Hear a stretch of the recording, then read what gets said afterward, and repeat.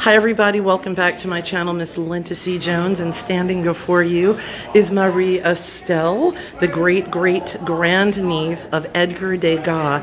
And today my friend Kathy and I are at the wonderful event we were invited to here at the Degas House in New Orleans, Louisiana for the 184th birthday and Bastille celebration and I'm going to hand it over to Marie to tell us all about the celebration and some of the history of Edgar Degas when he um, experienced his sojourn here in New Orleans, Louisiana. Degas came in 1872 and he came here to visit his uncle Michel Musson and his cousins and his nieces and nephews that all lived in New Orleans. Um, at the time he came, he had not only had um, his, his uh, relatives living here, but he also had two brothers living here. Um, and so he really felt like New Orleans was, you know, something on his map. Um, he came after the Franco-Prussian War, and it had been a really bad time for him. And this was a vacation of sorts, uh, which is interesting because when he came, he was coming into the middle of the reconstruction of New Orleans at the time. So it wasn't a whole lot better than Paris at the time, but it turned out to be a very, very important visit for him. Once he went back to France a year later, he, the whole Impressionist movement began. He actually started painting differently than he had been painting previously. So even though it was really a blip on his life, he was only here for five months, it was a very important blip. Um, he had a wonderful time in New Orleans, but and did 18 major works of art while he was here. Um, and actually, none of them are outside. His eyesight bothered him so much while he was in New Orleans. He said the light was brighter than it was in France. And so all of his paintings that he did are interior scenes. They are also almost all of his relatives that were living here at the time. He was 38 years old when he came. He had, by this time, had a measure of success in Paris as a painter. The do-all and be-all in Paris in the 1870s and 1880s was called the Salon.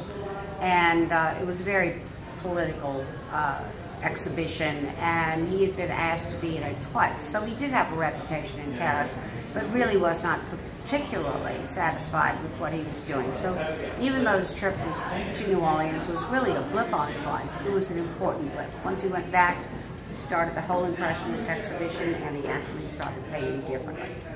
And when um, I toured here at the Degas House, one of the things I learned is that his uh, creative um, inspiration came back during his, his time here with his cousins. Yes, um, he had had a very bad situation for him. I think possibly it was post-traumatic syndrome. I have no idea.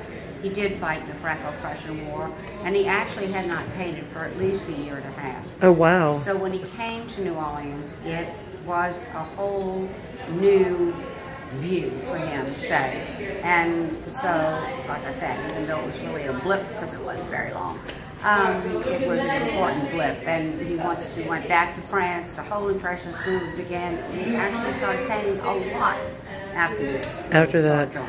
And the Impressionist period is my absolute favorite, and you guys know how much I love your place, and I want to thank you so much.